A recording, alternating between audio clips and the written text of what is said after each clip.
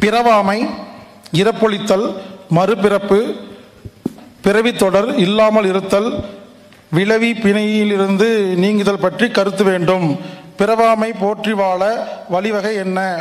எனக்கு தெரியவில்லை. இல்லைங்க ஓப்பனாக சொல்கிறேங்க தெரிஞ்சா தெரியுதுன்னு சொல்லுவேன். தெரியலிங்க இந்த மறுபிறவி முற்பிறவி இறந்தால் எங்கே போகிறோம் எனக்கு தெரியலிங்க. நான் ஒன்றும் மேடையில் உட்காந்துட்டேங்கிறக்காக வாய்க்கு வந்ததெல்லாம் பேச விரும்பலை. எனக்கு தெரியல. தெரிஞ்சால் நீங்கள் சொல்லிக் கொடுங்க நான் தெரிஞ்சுக்கிறேன்.